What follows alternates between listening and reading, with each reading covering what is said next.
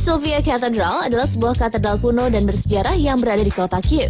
Dan pemirsa, informasi lebih jauh mengenai katedral ini akan hadir bersama informasi-informasi menarik lainnya mengenai kota Kiev dalam segmen Spotlight Globe berikut ini.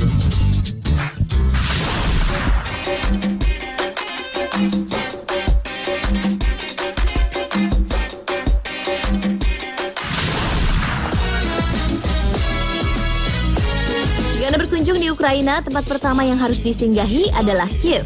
Kiev merupakan ibu kota Ukraina sekaligus kota terbesar di negara tersebut.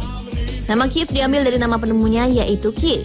Bersama tiga saudaranya yang lain, Ki menemukan kota yang terletak di tepi sungai Dnipro ini sekitar 1500 tahun silam. Kota ini kemudian diberi nama Kiev yang berarti memiliki Ki. Kiev telah berkembang menjadi kota yang sangat penting di Eropa. Bahkan telah menjadi pusat industri, pendidikan, budaya, dan sejarah. Terutama bagi sejarah Eropa Timur. Sebagai kota pusat perdagangan misalnya, Kiev sudah memegang peranan penting sejak abad kelima. Pada zaman itu, Kiev menjadi jalur pelintasan antara Skandinavia dengan Konstantinopel. Nah pemirsa, untuk lebih tahu mengenai kota Kiev, tim Spotlight telah merangkum beberapa hal menarik lainnya dalam tayangan berikut ini.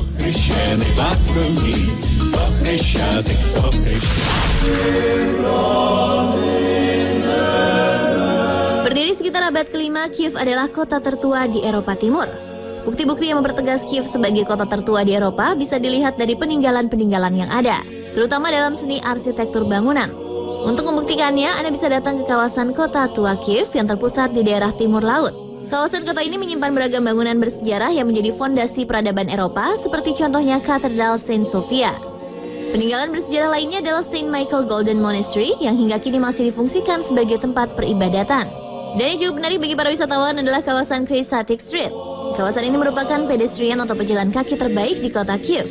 Wisatawan bisa menikmati indahnya suasana sore dan malam hari dengan berjalan kaki. Dan kawasan pedestrian ini juga sudah ada sejak abad pertengahan. Pada akhir pekan, jalanan ini sering digunakan pesta jalanan lengkap dengan berbagai pertunjukan menariknya.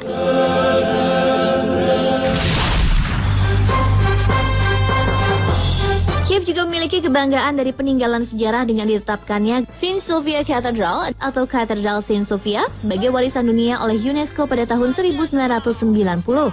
Pengakuan tersebut semakin bertegas kalau Kiev merupakan kota tertua sekaligus kota paling berpengaruh pada peradaban Eropa. Katedral Saint Sofia merupakan salah satu gereja tertua di dunia yang tepat berusia 1000 tahun pada 2011 lalu. Gereja yang dibangun pada abad ke-11 ini didirikan untuk menandingi Hagia Sophia di Konstantinopel. Kini Katedral Saint Sofia telah dialihfungsikan sebagai tempat penyimpanan naskah sejarah kota Kiev dan peradaban Eropa yang pernah terjadi di Kiev. Keindahan gereja ini bukan hanya dari interior yang kaya akan lukisan dinding dan mozaik-mozaik yang ada di dalamnya, tapi penambahan menara lonceng raksasa dengan tinggi mencapai 76 meter pada 1752 dan kubah emas pada 1852 menambah keindahan gereja ini. Tapi penambahan menara lonceng raksasa dengan tinggi mencapai 76 meter pada tahun 1752 dan kubah emas pada tahun 1852 menambah keindahan gereja ini. Apalagi artefak dan literasi yang ada di dalam gereja memiliki nilai sejarah yang sangat penting.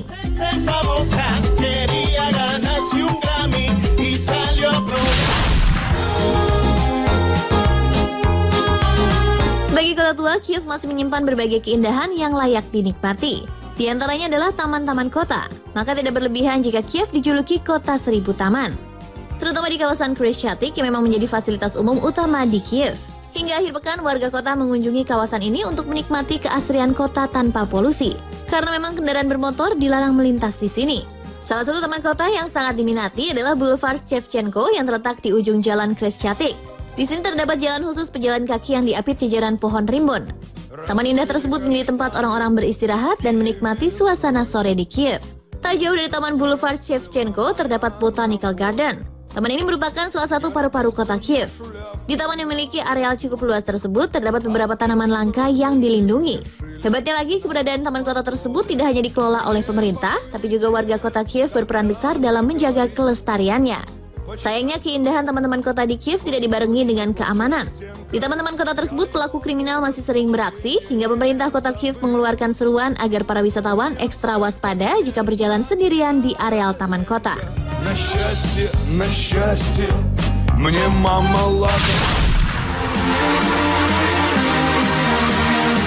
Kiev memiliki festival unik yang diselenggarakan setiap tahunnya yakni Festival Rambut Internasional. Dalam festival ini bukan hanya potongan rambut yang menjadi penilaian, tapi kreasi yang ditampilkan benar-benar unik dan aneh. Bahkan model rambut yang ditampilkan layaknya sebuah gaya dalam cerita-cerita dongeng. Festival yang dikenal dengan nama kompetisi Crystal Angel di kawasan Eropa ini sudah berlangsung sejak 2001 lalu. Penggagas acara ini adalah perguruan tinggi Kiev Akademi Penata Rambut.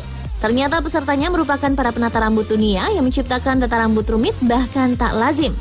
Festival ini menjadi lebih sensasional antara yang berlenggok di atas catwalk ternyata juga para model profesional. Karena festival rambut atau Crystal Angel ini sangat unik, banyak wisatawan yang sengaja datang untuk menyaksikannya secara khusus.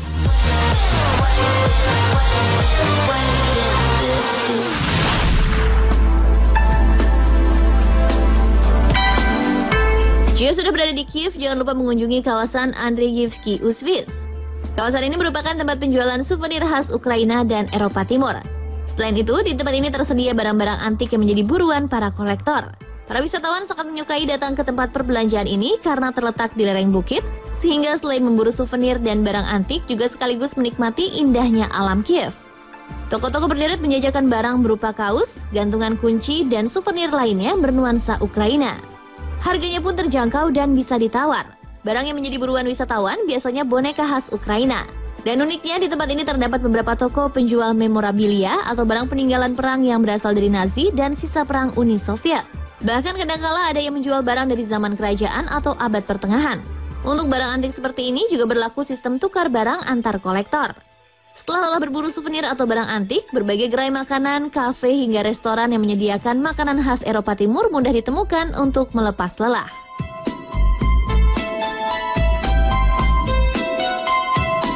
Itulah beberapa keindahan yang terdapat di kota Kiev sebagai kota tertua di Eropa saksi peradaban dunia.